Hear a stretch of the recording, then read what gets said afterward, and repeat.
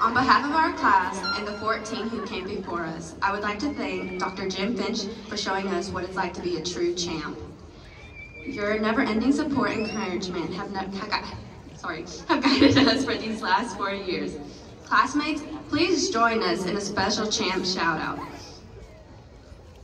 Be a champ, be a champ.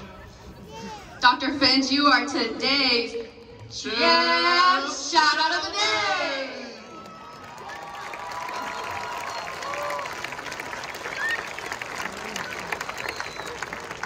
Fellow graduates, move your tassels to the left.